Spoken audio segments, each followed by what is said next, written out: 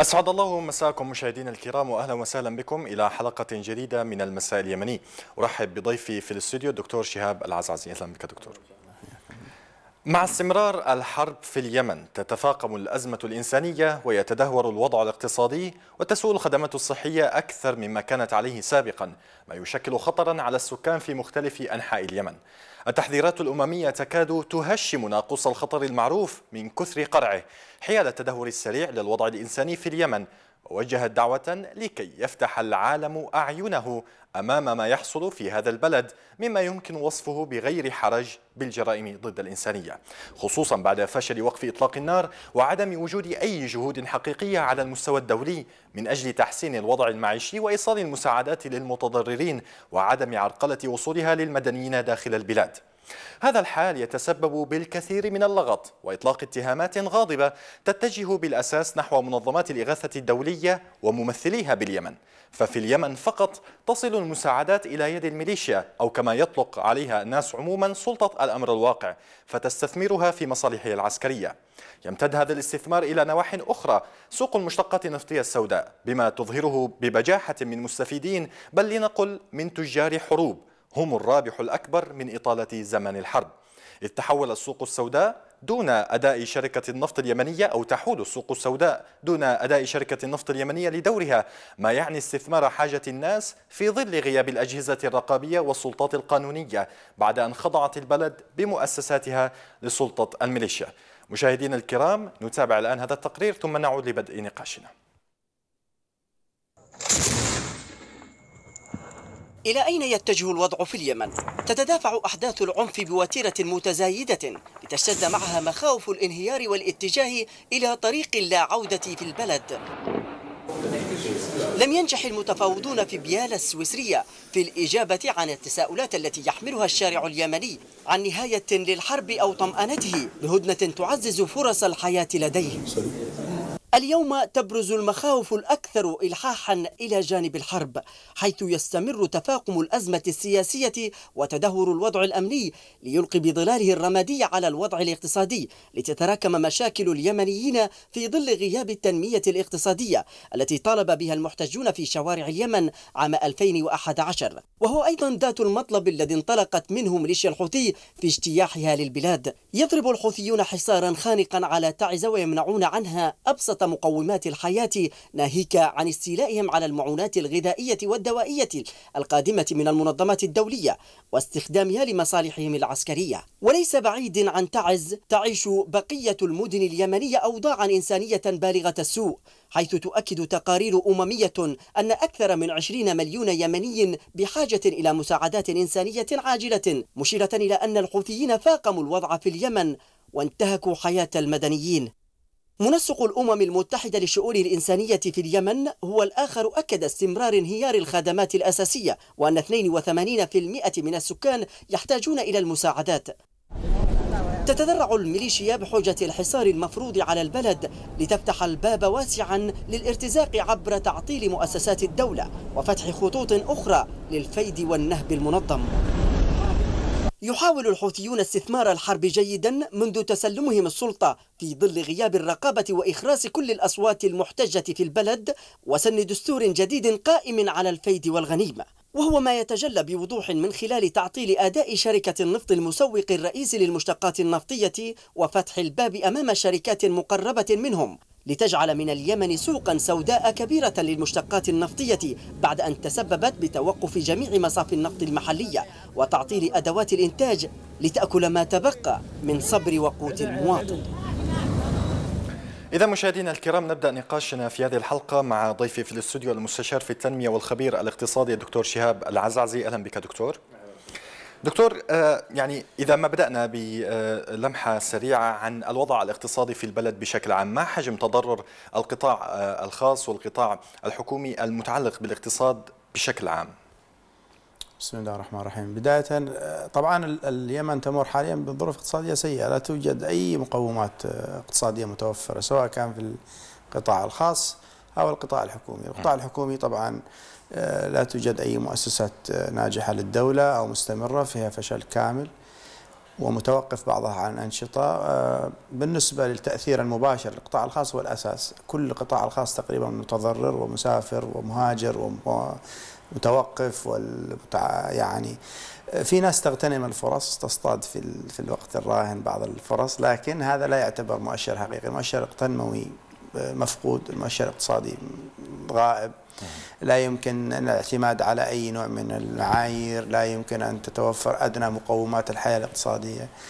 آه، المشكلة ليست فقط في في محور واحد أو في جانب واحد. أعتقد على مستوى البلد بشكل عام صح أن هناك تفاوت في الضرر بين محافظة وأخرى وهذه من نعمة الله سبحانه وتعالى على الشعب اليمني يعني تضيق وتنفرج في بعض المناطق وبعض نعم. المحافظات لكن هذا لا يعتبر أن هناك آه، مقومات متوفرة للاقتصاد وإنما هم يعني بالمفهوم العامي يعني يعيشون بالبركة ببركة الله سبحانه وتعالى ويعني التغلب على المعاناة بالصبر وال آه، نوع من إيجاد البدائل فقط لا أكثر يعني. طيب بالحديث عن أن أغلب المؤسسات الحكومية آه، الاقتصادية لا تغذي الاقتصاد الوطني بشكل كاف لربما أكثر هذه المؤسسات شركة النفط اليمنية آه، هي مؤسسة الآن كانت تقوم بدور إلى حد كبير في وكان لها صلاحية توزيع المشتقات النفطية لربما الوحيد الموزع الوحيد للمشتقات النفطية في البلد الآن آه، جاءت قرار التعويم كيف أثر قرار التعويم على ذلك على الوضع الاقتصادي وعلى شركة النفط اليمنية؟ طبعا هذا يعتبر أي مثله مثل أي قرار غير مدروس. يعني العواقب ستكون طبعا سلبية آه، إشكالية أنه ما في عندك أيضا آه، بديل. جاءت القرار في وقت أيضا آه، البلد أساسا اقتصاده منهار التسويق النفطي الآن أيضا شبه معدوم الناس تعيش على الاحتكار وأسلوب التوزيع العشوائي. وبالتالي عدم وجود جهة متخصصة سواء كان آه، لو كما كانت في السابق ولو كان في سلبيات طبعا في السابق لكن آه، مع وجود هذا القرار التأثير يكون أسوأ والوضع سيكون أسوأ لأنه ما عندك أنت آه، مؤسسة حكومية ناجحة تستطيع أن تقوم بالدور هذا بشكل جيد. القطاع الخاص غالبا ما يكون أنجح في إدارة هذه المشاريع وحتى وإن كان مختلط أحيانا بعض لكن القطاع الخاص المقنن وليس قطاع خاص طبعا يعني يفتح له المجال لا لا الذي هو له ضوابط طبعا أو يكون مختلط أحيانا يكون أيضا له ضوابط معينة أو يتم توزيع أدوار بشكل عمل مؤسسي. أما أنه بشكل أنه مجرد قرار و آه، يعتبر هذا نوع من التعطيل وإيجاد أزمة ستكون في أزمة كبيرة الآن حتى تنحل تحتاج وقت كبير جدا. طيب آه، اسمح لي أن نشرك بالنقاش معنا. دكتور رئيس اللجنة النقابية للإدارة العامة لشركة النفط الأستاذ حسن آه، أو حسان الشرماني. أهلا بك أستاذ حسان. أهلا وسهلا. أستاذ حسان آه، طلبت الشركة والنقابة في بيان مشترك الجهات العليا بالتدخل لرفع الضغوط والتدخلات السلبية التي تؤثر في عمل الشركة، ما هي التدخلات السلبية التي تتعرض لها؟ الضغوطات والتدخلات السلبية التي تمارس على شركة النفط من قبل سلطة الأمر الواقع والنافذين تتمثل في التالي. تحويل شركة النفط إلى مجرد دكاكين خزن للقطاع الخاص يعني متمثل بسحب نشاطها في تسويق المنتجات النفطية محليا. آه تجاوزات بطرف المواد البترولية عبثية في من خلال ما يسمى بالمجهود الحربي. أو ما يسمى ب آه، سحبها للقطاع الخاص لتسويقها في السوق البديل. كذلك مخالفة اللوائح والقوانين الشركة المتمثلة في منع موظفين وقيادات من دخول أحد فروع الشركة وأيضا متمثل في عملية تحويل شركة النفط إلى مجرد محلل في منشآت الحديدة وفرع الحديدة وبقية الفروع. وهم الذين يديرونها في عملية تسويق. واستيراد المواد البترولية. هلا وضحت لنا آه، ماذا تعني بالمحلل بشكل أكبر؟ المحلل أي إنه تم تعيين بعض قيادات الشركة مثلا لمنشاه رأس عيسى أو منشآت الشركة بالحديدة لكن ما يتم إدارة ما يتم هو إدارتها من قبل ما يسمى أبو ليث وأبو يونس وأما موظفي الشركة لا يديرونها بينما يديرها سلطة الأمر الواقع. نعم. أنتم طلبتم بتشكيل لجنة للاستيراد من خلال المذكرة. ما الجدوى من هذه اللجنة في حال تم تشكيلها؟ الجدوى لتكون عملية الاستيراد بحسب الاختصاص أي يجب أن يكون عبر مؤسسات الدولة عبر المؤسسة العامة للنفط والغاز ووزارة المالية والبنك المركزي. وكذلك شركة النفط المختصة بالتسويق المحلي. هذا هو اختصاص لجنة الاستيراد. حتى تستقر العملة والسياسة النقدية في البلاد وحتى تكون بحسب الاختصاص. لا أن تكون عبثية استيراد عبثي خارج إطار الدولة ويستخدم في السوق البديل. طيب أنت تحد... أنت تحدثت الآن عن هذه اللجنة. الآن كيف يتم استيراد المشتقات النفطية بشكل عام؟ هناك لجنة شكلت داخل شركة النفط بالتساوي مع ما يسمى لجان ثورية وبعض القيادات في شركة النفط لكن الأمر يعود إلى قرارات اللجان الثورية في عملية الاستيراد التي آه، أعطت آه، القطاع الخاص نصيب الاستيراد الأكبر وأيضا مما أدى إلى تسويقها عبر القطاع الخاص وفقدان الشركة لسيطرة على عملية الاستيراد والتوزيع. طيب ما علاقة استيراد القطاع الخاص بالتأثير على أداء شركة النفط؟ هو تم السماح للقطاع الخاص باستيراد مادة الديزل فقط ولم يتم وضع آلية وتنظيم العلاقة بين القطاع الخاص والشركة حيث أن الحاصل أن التجار يقومون باستيراد المشتقات النفطية وتوزيعها خارج الشركة وهذا أدى إلى ارتفاع الأسعار وعدم توفر المواد البترولية في جميع المحافظات وعدم تسويقها من قبل الشركة وأدى أيضا إلى إيجاد سوق بديل يسمى السوق السوداء.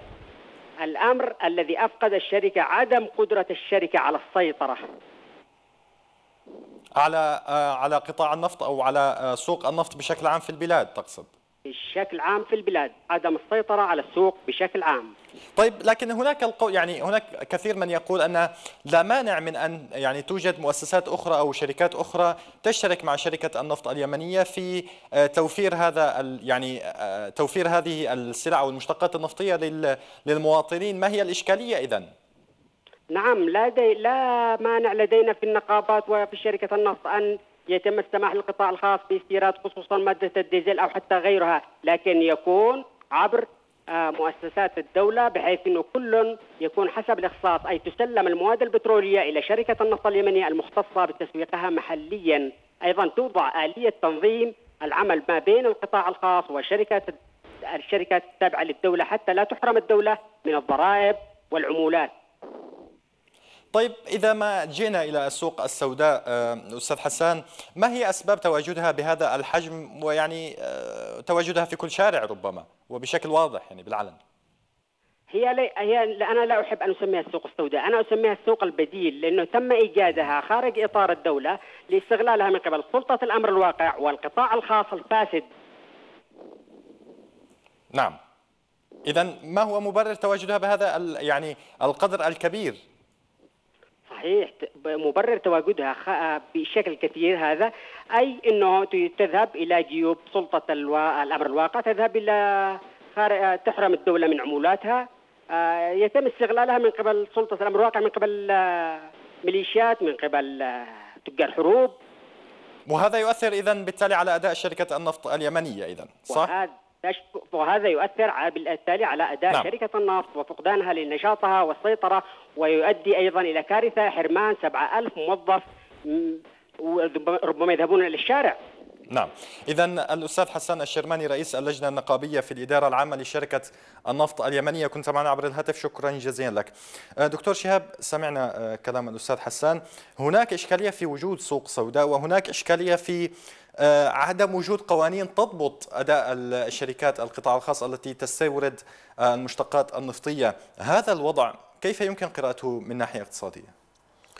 طبعا الأخ متخصص وهو يعمل في نفس القطاع ومدرك الحجم المشكلة نعم. وأنا أؤيد ما ذكره في في وجود خلل آه، إداري كبير في فشل في التوزيع في فراغ ما بين القطاع الخاص والقطاع الحكومي يعني في مجموعة من المشاكل المجتمعة ليس يعني المسألة يعني مش مشكلة واحدة.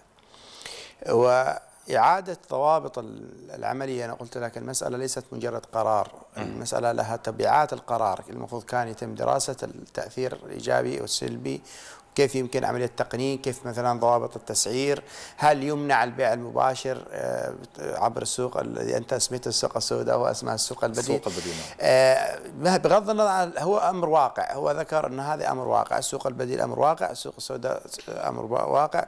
آه، بعدم وجود لعدم وجود بيئة ناجحة في عملية توزيع النفطي لعدم وجود جهة آه، إدارية تستطيع أن تضبط العملية لعدم وجود أيضا قوانين حازمة للضبط والعقاب والبلد في حالة فراغ يعني متكامل هذا جزء من من المشكلة. وبالتالي يعني لا تحل بشكل جزئي. هي المسألة مرتبطة بمنظومة متكاملة. طيب آه، هناك حديث على أن دول التحالف آه، تقوم بفرض حصار على الوضع الاقتصادي يعني حصار اقتصادي على اليمن. هل الحديث هذا يعني أعطي حجما أكبر من حجمه أم أن آه، أن أن الحياة الاقتصادية فعليا آه، يعني تتم بشكل طبيعي في اليمن في المناطق التي تقع يعني بخصوص تحت سيطرة الحوثيين باعتبارهم أنهم أكثر من يشتكون من هذا الجانب. هو شوف البلد بشكل عام آه، تعتبر الآن في وضع غير طبيعي. يعني هي في حالة حصار اقتصادي وغير اقتصادي بشكل عام. آه، التنقلات السفر من وإلى البلد الاستيراد والتصدير الحركة. آه، أي دعم خارج الدولة الآن موقف أي دعم لتنمية مشاريع متوقفة أي إمكانية لعمل أي نوع من المشاريع الاقتصادية متوقفة. وبالتالي آه، الواقع يقول أن البلد ونحن جزء من هذا. يعني كل اليمنيين الآن خارج البلد لا يمكن أن ينكرون هذا الشيء والذي يستطيع أن يقول شيء غير هذا لا يمكن. إضافة أن البلد في حالة حصار بشكل مباشر أو غير مباشر. إن شئنا من هو المتسبب؟ كان بغض النظر عن المسميات اللي ذكرتها من الذي يسيطر على الدولة؟ الدولة الآن لدينا دولتين لدينا حكومتين لدينا مسؤولين من طرفين لدينا أطراف خارجية لدينا إشكالية كبيرة في في إدارة الدولة. وبالتالي كل المسؤولية تقع على الجميع لا توجد على طرف واحد. أنا أعتقد أن المسؤولية تحتاج حسم مباشر سريع إنقاذ وضع البلد تتدهور كل يوم لا يوجد أي نوع من مؤشر التنمية ولا الاقتصاد نهائيا. كل شيء للسالب حاليا. طيب يعني حتى لا نختم الحديث في هذا المحور بنظرة سلبية. في حال ما تم آه، إيقاف الحرب الآن ما هي آفاق التنمية الاقتصادية الموجودة في حال دعمت اليمن من الخليج؟ كما هو موعود. لو تم آه، دعم مباشر من الخليج سيتوقف كل المشاكل المتواجدة تدريجيا طبعا. سيكون هناك نوع من في التنمية الحقيقية. ستكون هناك مصالح حقيقية في المنطقة لدى اليمن. بالتالي سيكون في اهتمام أكبر. سيتم إيقاف نزيف الخسائر. سيتم إعادة تشغيل المشاريع المتوقفة. سيكون هناك تواصل طيران واستيراد وتصدير وتفعيل الواردات والتصدير بشكل غير بشكل مباشر. وبالتالي كل الحياة سترجع آه، آه، بشكل أفضل. بدون هذه الخطوة وبدون تدخل خارجي بدون تدخل مباشر من ماجستان أنا أعتقد لن يكون هناك أي نوع من من التنمية ولا لن يكون هناك أي حل اقتصادي للبلد. سيكون عبارة عن نرى دائرة مفرغة الكل يؤجل الموضوع إلى مرحلة أخرى والكل يرمي المسؤولية على الطرف الآخر والكل آه، يبرر آه، المسألة تحتاج إلى جدية دراسة عملية تمت آه، الأوراق كلها مثبتة الأوراق كلها جاهزة ما بقي إلا التنفيذ لا يوجد أي تنفيذ على الواقع فقط كلها عبارة عن كلام وشعارات من من كل الأطراف إلى الآن يعني. طيب.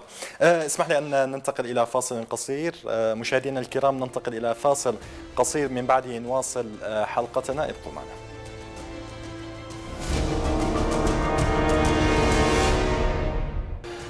أصدر أهلا بكم من جديد مشاهدينا الكرام. أصدر منسق مكتب الأمم المتحدة للشؤون الإنسانية يوم السبت السابع عشر من ديسمبر بيانا.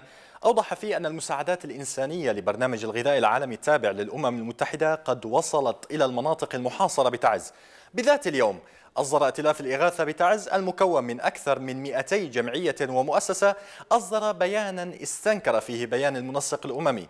نافيا وصول أي مساعدات إنسانية إلى المحافظة عدا مديرية واحدة هي التعزية الخاضعة لسيطرة الميليشيا.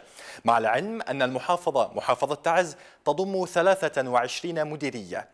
من جهته وجه وكيل محافظ تعز المهندس رشاد الأكحلي نداء استغاثة للمنظمات الدولية والإقليمية لإنقاذ أبناء مدينة تعز والمرضى من أبنائها بشكل خصوص في المستشفيات بالتزامن مع نفاذ مادة الأكسجين. نتابع معكم مشاهدينا الكرام هذه المادة ثم نعود لاستئناف النقاش.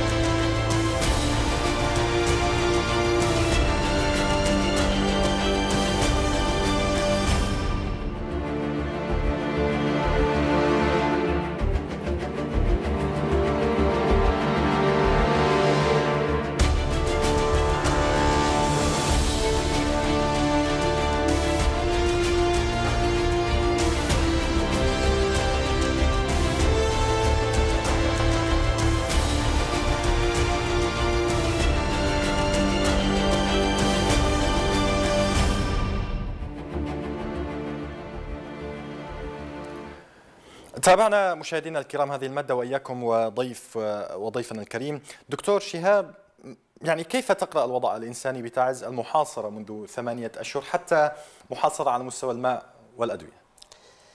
للأسف يعني وضع مأساوي. كما تذكر الإحصائيات يعني كل شيء مذكور ما شاء الله بالأرقام بالتحليل بالتوثيق. ومع ذلك العالم يتفرج ولا يعني محرك أي خطوات تنفيذية. للأسف في في في تآمر واضح للحصار على تعز. أنا أعتقد أنه تعز يمكن بحكم أنها موقع يعني استراتيجي طبعا جغرافي ومتحكمة بمنطقة الشمال والجنوب في اليمن مضيق باب المندب إلى آخره أكثر كثافة سكانية. عدة عوامل. للأسف أن انحصر معظم الحرب في اليمن إلى تعز والتركيز في المأساة والجانب الاقتصادي والحصار صار أشد من الحرب لأنه لو في حرب آه مواجهة مباشرة بدون حصار يمكن يكون في آه نوع من المتنفس لكن حصار اقتصادي عدم وجود ماء عدم وجود مواد غذائية أدوية إلى آخره هذا طبعا هي اللي فاقت فاقمت المشكلة. آه بغض النظر عن وجود حرب بغض النظر عن من يحكم الآن يعني الأصل أن المنظمات الدولية والأمم المتحدة ومجلس التعاون يعني وغيرهم آه ينظرون المسألة بشكل إنساني خلينا نقول المسألة بشكل إنساني. لا يمكن القبول بهذا التصرف في أي مدينة أخرى ولا أي دولة أخرى يعني بشكل عام. لماذا لا يمكن؟ آه طبعا لأن المسألة إنسانية فيها أطفال فيها نساء فيها تضرر بشري تتكلم عن ملايين البشر نعم. آه المسألة لم تستمر فقط أيام مؤقتة وإنما كما ذكرت يعني شهور لا توجد حلول عملية لدينا حكومة موجودة لدينا دعم خارجي طيب ما هي الخطوات العملية في المسألة؟ طيب التساؤلات والاستفهامات الذين طيب دعنا نتعرف على أبرز مشاكل الإغاثية في تعز. معنا الآن السيد ماهر العبسي الراصد في شبكة الراصدين المحليين. أهلا بك أستاذ ماهر. أهلا وسهلا أستاذ ماهر هل تسمعنا؟ أيوة حياكم الله. أستاذ وعليكم السلام. أستاذ ماهر ما هو مصير الشاحنات الإغاثية التي أرسلت من قبل المنظمات الدولية التي احتجزت على مشارف المدينة؟ هل وصلت كما يقول أو تقول الأمم المتحدة؟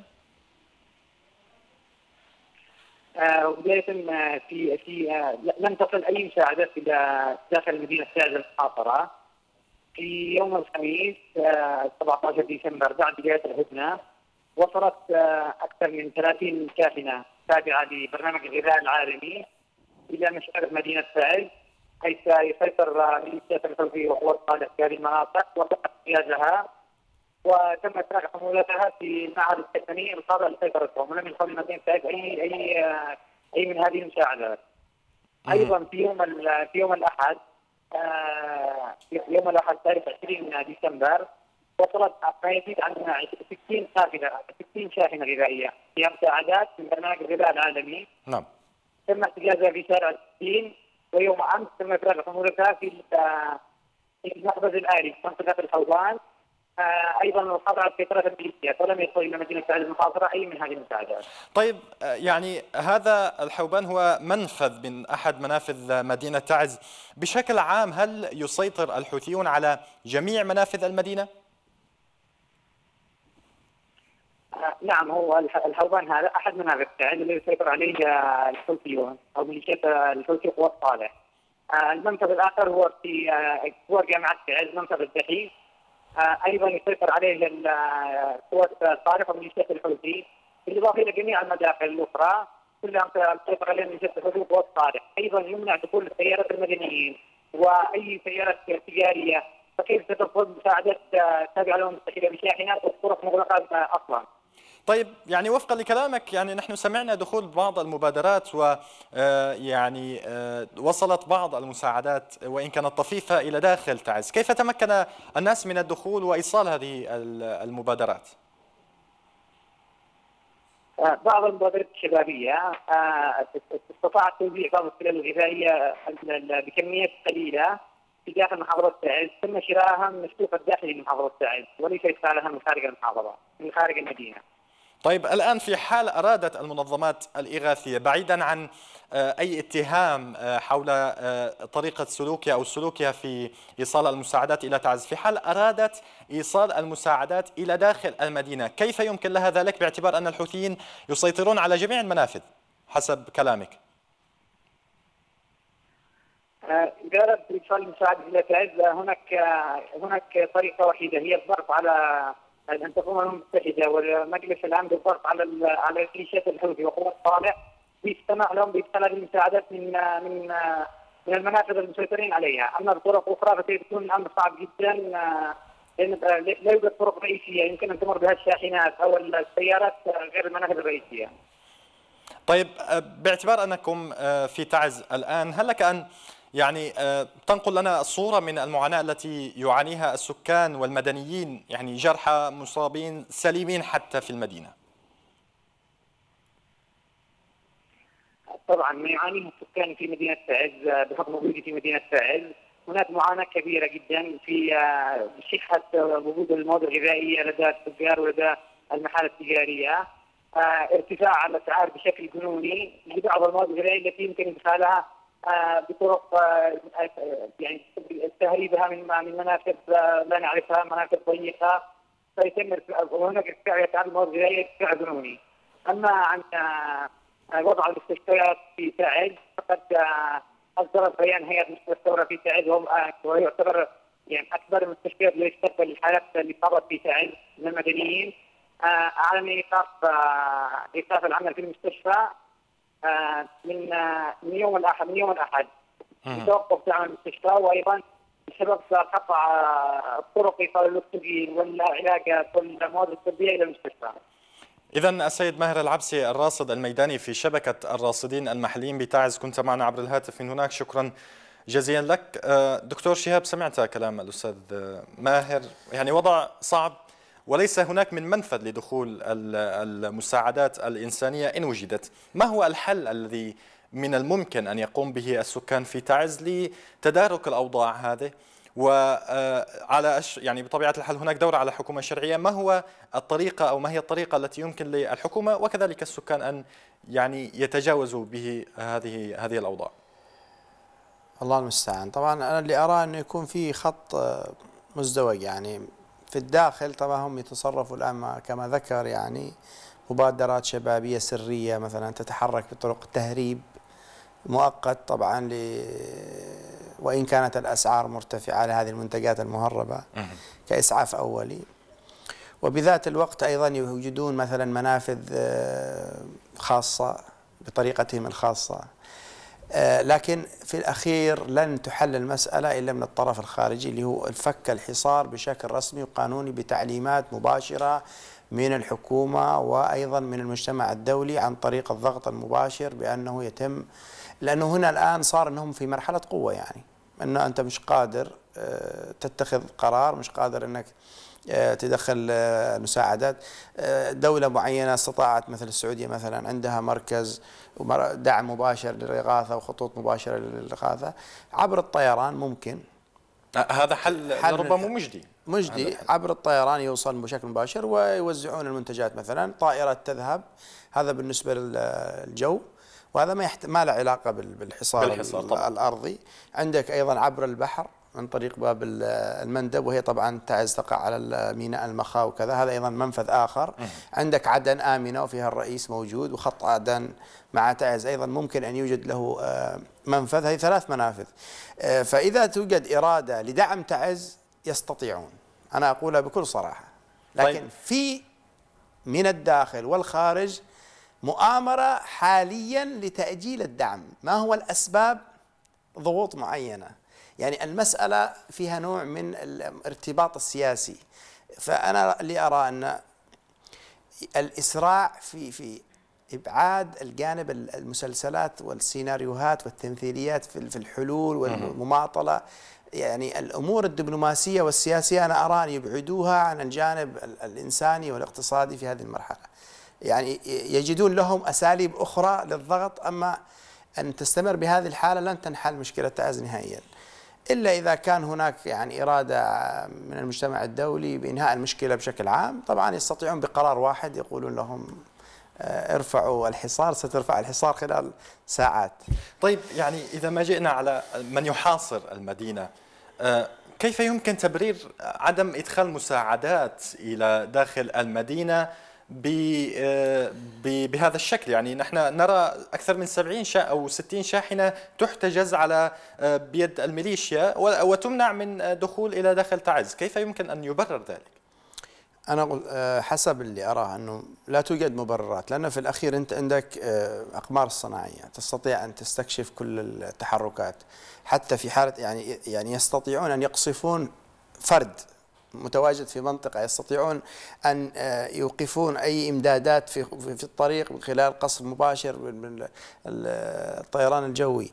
بالتالي أنه إيقاف مثل هذه الكمية من الشاحنات و وامام مرأى ومسمع واضح يعني في تآمر من الباطن بعدم دخولها.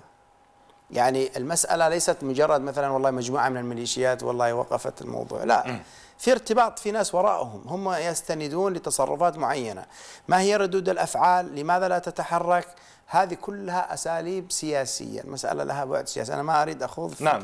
في الجانب السياسي طيب. لكن نعم. كله سياسي بحت يعني المسألة السياسية حاليا هي التي تتحكم في الحصار الاقتصادي طيب آه، آه، يعني لربما أنت مطلع آه، مطلع على يعني الشؤون الخليجية إلى حد ما في ناحية المساعدات الإغاثية التي تقدم لليمن، هل يمكن القول على أن آه، هذا الدور الذي قامت به دول الخليج بشكل عام كافي في إيصال المساعدات أم أن هناك حاجة إلى دور أكبر؟ أنا على أمل يعني أن دول الخليج يفعلون بشكل أكبر آه، يستمرون في الدعم. جزاهم الله خير بذلوا وقدموا المزيد آه، بحاجة اليمن للمزيد أقصد أن الدعم ال- الذي قدم لا يكفي. الاستمرار مطلوب. آه، تدخلهم بشكل مباشر في إنقاذ الوضع سيكون أسرع من ال- الحكومة اليمنية ومن الداخل. لا يمكن للطرف اليمني واليمنيين أن يحلوا مشكلتهم في هذا الظرف بدون تدخلهم مباشر. وبالتالي اللي أراه أن آه، يتم وضع آلية معينة لمشاريع تنموية مباشرة تشرف عليها دول الخليج لإنقاذ الوضع الاقتصادي وإيجاد مشاريع تنموية لإنقاذ الوضع ال- ال- البنية التحتية وإيجاد مصالح لهم في, في, في اليمن. يأخذون اليمن. أنا أرى أن تؤخذ اليمن الآن تحت إشراف مباشر لدول مجلس التعاون. تصبح اليمن جزء من مجلس التعاون الخليجي وسوق استهلاكي كبير جدا. سيكون منفعة للطرفين. هذا الذي سيسرع في عملية الاستقرار ال- الاقتصادي وبالتالي سي- سيحل المشكلة السياسية. أما لو عملنا العكس كما هو حاليا مستمر أن ننتظر إلى حل المسألة السياسية والعسكرية ثم البدء في الإعلان الاقتصادي هذا سيطيل العملية. طيب آه، اسمح لي آه، أن نستقبل الآن ال- الناشطة الحقوقية الأستاذة نجلاء العمري معنا من نيويورك. أهلا بك آه، أستاذة نجلاء. مرحبا بكم.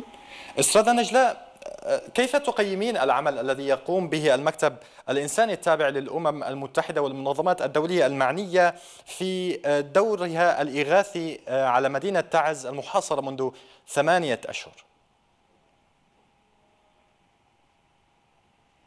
في هذا الحصار الدائر على مدينة تعز آه، لا نجد أن هناك أي تعاطف دولي آه، أو تعاون حقيقي في اتجاه فك هذا الحصار وهو الأمر الطبيعي.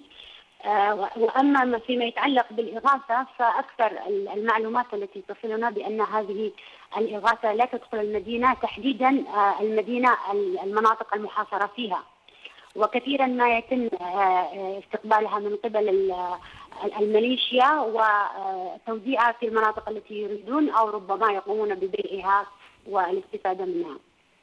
طيب آه، المتفاوضون في سويسرا كانوا اتفقوا على يعني فك الحصار لكن ميليشيا الحوثي والمخلوع رفضوا تنفيذ هذه الخطوة يعني حتى تحدوا الإرادة الدولية التي تتحدث عن ذلك تتحدث لا أعلم إن كانت تنفذ ذلك والآن الحصار مستمر كيف يمكن تقييم هذا ال- الإصرار الميليشياوي لحصار المدينة آه،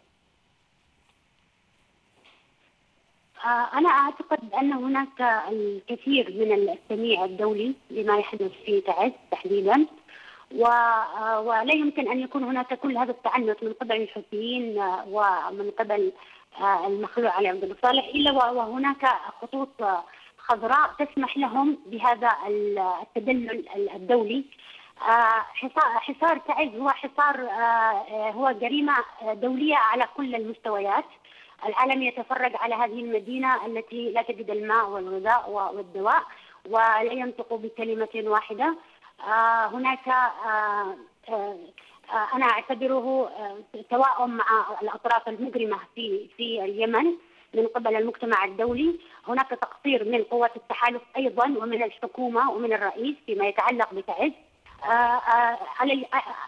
أظن أن على على تعز أن تكشف بكل ما تستطيع من قوة هذه ال- الجرائم الجرائم وهذا التواطؤ الدولي وال- والإقليمي ل- ليصبح العالم عاريا أمام نفسه طيب أستاذة نجلاء يعني بحكم آه، تواجدك بنيويورك وتواجد العديد من المنظمات الدولية هناك ما هي الصورة السائدة لدى تلك المنظمات حول ما يجري في اليمن؟ آه، للأسف آه، هناك الكثير من ال- التأثير ال- المعاكس لما يحدث في اليمن. آه، الكثير من النشطاء الذين آه، يؤمنون بما يقوم به ما تقوم به العصابة وبما يقوم به آه، ال- ال- المخلوع السفاح. كثيرين منهم يعملون ضد ال- القضية الوطنية. هنا في نيويورك للأسف آه، الكثيرين يعتقدون بأن هناك فقط حربا واحدة وهي حرب ال- التحالف ضد ال- ال- الدولة الفقيرة اليمن ولكنهم لا يتحدثون لا يتحدثون ربما مطلقا عما يقوم به آه، تقوم به هذه العصابة آه، التي لا تنتمي آه، إلى أي آه، معنى من معاني الإنسانية و- ويقتلون ويحاصرون المدن وينتهكون الإنسان. لا يوجد أي وعي بهذه القضية. وهناك وهناك نوعا ما آه، تواطؤ من قبل الإعلام أيضا وربما آه، كما يعني نرى النتائج في الأرض هناك أيضا تواطؤ سياسي آه، ضد القضية ال- ال- مم. الوطنية والشرعية وهذا أمر خطير حتى الشارع لا يتحدث إلا عن العدوان كما يعني يسمعوه هذه نقطة الإعلام خطيرة أستاذة الذي نجلاء. هل يعني يقوم أو تقوم الحكومة الشرعية وكذلك الناشطين الذين يعلمون الناشطين الحقوقيين الذين يعلمون بحقيقة ما يجري حاليا لمحاولة توضيح الأمر لهذه المنظمات؟ آه لابد من ذلك ولكن أنا الذي أندهش له أن هناك انه هناك شبه غياب كامل لل يعني ربما نقول لحكومتنا للستاره ل- لكن أيضا ال- ال- الذي تندهش له أن هناك أيضا غياب حتى لفعل التحالف فيما يتعلق على التاثير على الدبلوماسية الأمريكية على الإعلام الأمريكي. لا نجد هناك فعل حقيقي. نحن كنشطاء آه، حاولنا أن نقوم قبل فترة بمعرض لتوضيح جرائم الحوثيين في في تعز. وحاولنا أن أن ندعو الكثير من القنوات الإعلامية التي لم تستجب لهذه الدعوة للأسف. والكثير من المنظمات أيضا المحلية والتي أيضا نعم. لم تستجب لهذه الدعوة. آه، آه، فهناك تواطؤ حقيقي يحتاج منا كسر هذا الحاجز. لكي نستطيع أن نخرج بالقضية ال- ال- ال- الوطنية اولا وبقضية حصار تعز ثانيا إلى العالم. ون- ون- ونكشف لهم أنه لا يوجد هناك هناك مجرد حرب على على على اليمن أو هناك مجرد نعم. حرب على الإرهاب وإنما هناك آه، قتل دائم ومستمر للإنسان اليمني وللدولة اليمنية. شكرا لك الناشطة الحقوقية. الأستاذة نجلاء العمري كنت معنا عبر الهاتف من من نيويورك. آه، دكتور شهاب يعني بسؤال أخير. هل هناك أي تحركات يعني بحكم أنكم آه، خبير اقتصادي هل هناك أي تحركات ترعاها الحكومة الشرعية ويرعاها مجلس التعاون الخليجي لعمل ملفات تقوم ببناء اقتصاد ما بعد الحرب؟ حسب علمي أنا ما عندي فكرة أن يعني توجد ملفات جاهزة بس هناك تحركات وفي إرادة حاليا للتغيير. في إرادة من قبل الحكومة اليمنية وفي إرادة من قبل مجلس التعاون الخليجي لاستقرار اليمن و آه، وضع تنمية لليمن فيما بعد الحرب وفي سيناريوهات مطروحة لكن ما زالت آه، غير جاهزة. ليست ملفات جاهزة للتنفيذ ليست ملفات معلنة وشفافة لأن فيها مصالح لا زالت مختلطة ببعض. فالموضوع محتاج إلى شفافية ووضوح محتاج إلى إشراك متخصصين محتاج إلى تعاون بين القطاع الخاص والعام في الدولة على مستوى اليمن ثم على مستوى دول مجلس التعاون ثم على مستوى المنظومة ككل. آه، توجد حلقات مفرغة توجد آه، ضبابية في الموضوع. المسألة التنموية لا زالت آه، مفقودة بسبب أن مصير اليمن مجهول. هل ستقسم؟ هل ستكون يمن اتحادية؟ متى سيتم إنهاء الحرب؟ من سيتولى إدارة البلد فيما بعد؟ ما هو نظام الحكم. إلى آخره. كل هذه ال- ال- الأمور التنمية الاقتصادية منغلقة ومتوقفة على الجانب السياسي وبالتالي اللي أراه أنه لا يوجد ملفات جاهزة على حسب علمي. الله أعلم قد تكون هناك ملفات عند عندهم. سرية. إذا دكتور شهاب العزازي مستشار التنمية والخبير الاقتصادي كنت معنا اليوم آه، في الاستوديو. شكرا جزيلا لك. مشاهدينا الكرام أشكركم شكرا جزيلا على المتابعة. آه، نلتقي في حلقة جديدة بإذن الله. تقبلوا تحياتي وتحيات طاقم العمل في أمان الله.